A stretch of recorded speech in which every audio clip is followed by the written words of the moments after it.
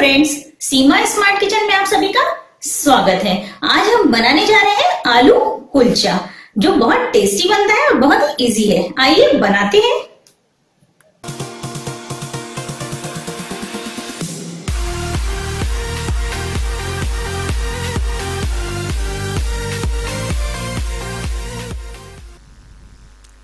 आलू कुलचा बनाने के लिए हमें चाहिए एक कप मैदा वन टेबल स्पून दही और थोड़ा सा नमक। नमक स्वाद अनुसार ले सकते हैं आप।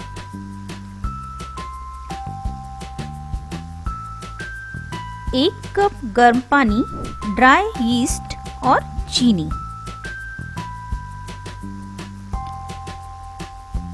कुलचे की स्टफिंग के लिए हमें चाहिए दो बॉईल आलू मैश किए हुए, एक हरी मिर्च बारीक कटी हुई, लाल मिर्च, चाट मसाला हरा धनिया बारीक कटा हुआ और नमक स्वाद अनुसार। सभी चीज़ें आप अपने स्वाद के अनुसार ले सकते हैं, कम ज़्यादा।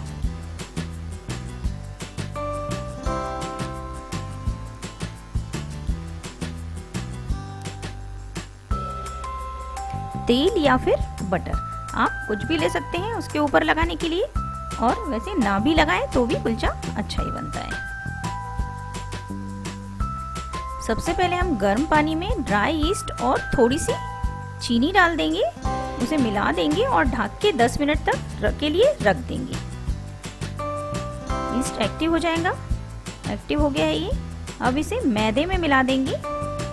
साथ ही हम दही और नमक भी इसमें डाल देंगे। थोड़ी सी जगह बना लीजिए। नमक डाल दीजिए। ईस्ट डाल दीजिए। आपके आटे में जितनी ईस्ट आए, उतना ही डालिए, ज़्यादा मत डालिए, नहीं तो बहुत ज़्यादा गीला हो जाएगा।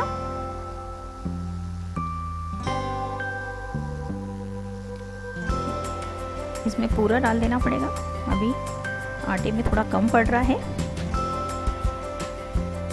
इसमें दही भी मिला देंगे।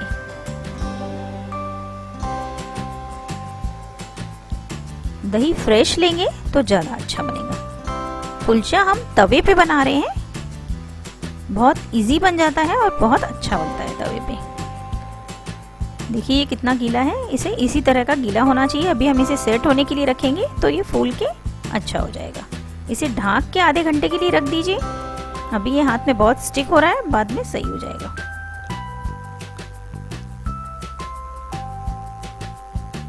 जब तक ये सेट हो रहा है अंदर की स्टफिंग तैयार कर लेंगे। मैश किए हुए आलू में हरी मिर्च, चाट मसाला, नमक हरा धनिया और लाल मिर्च। सभी डाल देंगे और मिला लेंगे।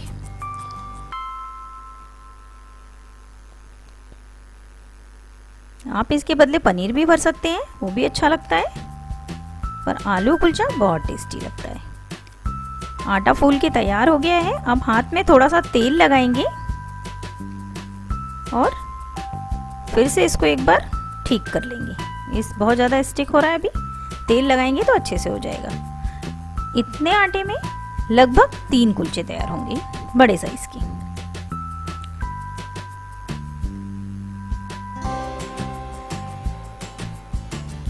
देखिए, तेल लगाने के कारण ये बहुत अच्छा हो गया है अभी।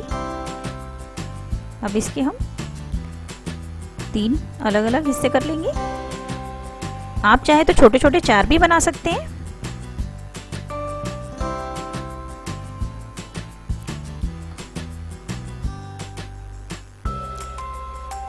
अब हाथ में सूखा मैदा लगाइए और जिस पे आप बेल रहे हैं, उस पर भी थोड़ा सा सूखा मैदा लगा लीजिए। और जो हमने लोई तैयार की है, आटे की, उस पर मैदा लगा लीजिए और उसे अच्छे से फैला लीजिए। अब हम इसमें स्टफिंग करेंगे आलू की। अच्छी बड़ी स्टफिंग डालिए, छोटी नहीं डालिए, नहीं तो टेस्ट नहीं आएगा आलू का।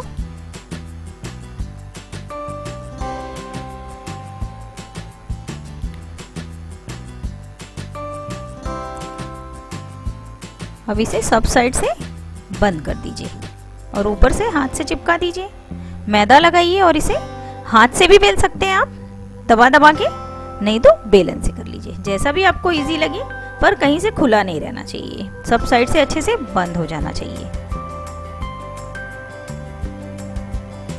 देखिए, ये हाथ से भी इजीली हो रहा है, क्योंकि इसका आटा बहुत अच्छा तैयार हो गया है।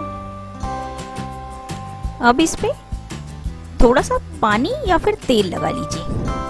इसके ऊपर हमें हरा धनिया बारीक कटा हुआ और लाल मिर्च लगानी है। ये ऑप्शनल है, आप लगाएँगे तो ये दिखने में बहुत अच्छा लगेगा। और टेस्ट तो अच्छा आएगा ही। और दूसरी तरफ़ तवा गर्म होने रख दीजिए। उसमें तेल लगा दीजिए और हमारे कुलचे डाल दीजिए। और ढाक दीजिए। लो मीडियम फ्लेम रहने दीजिए। लगभग 30 सेकंड के बाद इसे पलट देना है और दोनों तरफ़ से इसे अच्छे से सेक लेना है। और सेकते समय इसमें आप बटर लगा सकते हैं या फिर ना लगाएँ। तेल भी लगा सकते हैं या फिर ना लगाएँ। मैंने यहाँ पे ना तो तेल लगाया है, ना ही बटर लगाया है। दोनों तरफ़ से पलट पलट के सेक लिया है। ये बहुत अच्छे से फूल जाता है और बहुत टेस्टी लगता है। देखिए ये फूल रहा है। बढ़िया हो गया एकदम तैयार। लीजिए। आलू कुलचा तैयार है। इसे बटर के साथ या फिर किसी सब्ज़ी के साथ सर्व कीजिए। या फिर इसे ऐसे ही खाइए। ये बहुत ही टेस्टी बना है। आइए इसे सर्व करते हैं। इसी तरह से सभी सेक के सर्व कीजिए।